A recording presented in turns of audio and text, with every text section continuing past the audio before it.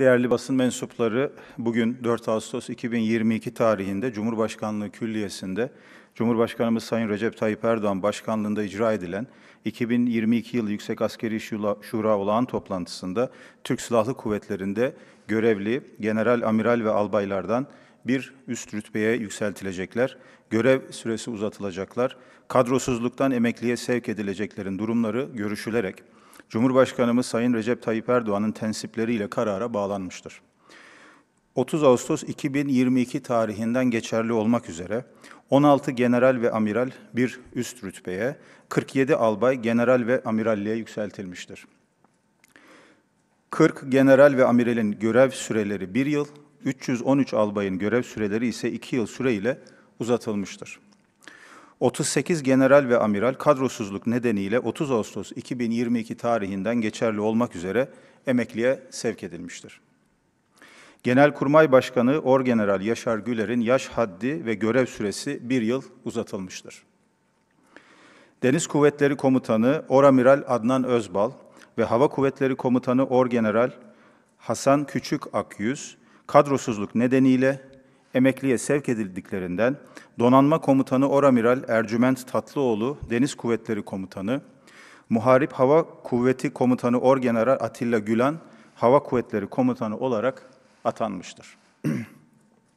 Halen 264 olan general ve amiral sayısı 30 Ağustos 2022 tarihi itibariyle 273 olacaktır. 30 Ağustos 2022 tarihinden geçerli olmak üzere Hava Kuvvetleri Komutanlığından Kor General Ziya Cemal Kadıoğlu Orgeneralliğe, Kara Kuvvetleri Komutanlığından tüm generaller Yılmaz Yıldırım ve Bahtiyar Ersay Kor Generalliğe, Hava Kuvvetleri Komutanlığından tüm General İsmail Günaydın Kor Generalliğe terfi ettirilmişlerdir.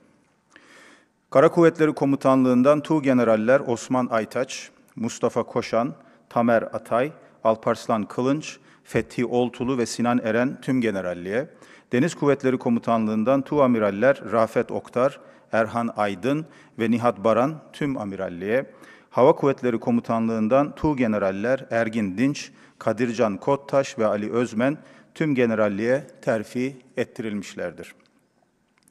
Bir üst rütbeye yükselen, görev süreleri uzatılan general, amiral ve albayların yeni rütbe ve görevlerinin milletimize, devletimize, silahlı kuvvetlerimize ve tüm ailelerine hayırlı uğurlu olmasını diliyoruz. Büyük bir özveri ve onurla görev süresini tamamlayarak emekliye ayrılacak olan general, amiral ve albaylara hizmetlerinden dolayı teşekkür eder. Hayatlarının yeni dönemlerinin aileleriyle birlikte sağlık ve mutluluk getirmesini temenni ederiz. Ee, bugünkü Yüksek Askeri Şura kararları bu şekilde arkadaşlar. Ee, biraz sonra listenin tamamı yani tüm atamalarla ilgili listenin tamamı Cumhurbaşkanlığı e, web sitesinde ardından Milli Savunma Bakanlığı web sitesinde yayınlanacak. Detaylara oradan ulaşabilirsiniz. Ee, bu vesileyle bir sıcak gelişme olması itibariyle Zeytinburnu Balıklı Rum Hastanesi'nde meydana gelen yangınla ilgili de bir güncelleme yapmak istiyorum. bu sabah e, sebebi henüz tespit edilemeyen bir e, nedenden dolayı e, bu tarihi hastanede bir yangın meydana geldi.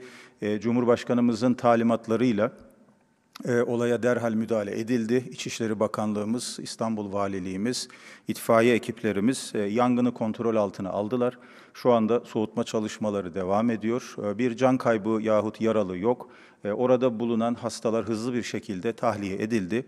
Yine Cumhurbaşkanımızın talimatıyla 80'e yakın hasta öncelikli olarak e, Murat Dilmener Acil Durum Hastanesi'ne sevk edilmek üzere e, şu anda e, e, sevk ediliyorlar. E, buralarda bakımları yapılmaya e, devam edecek.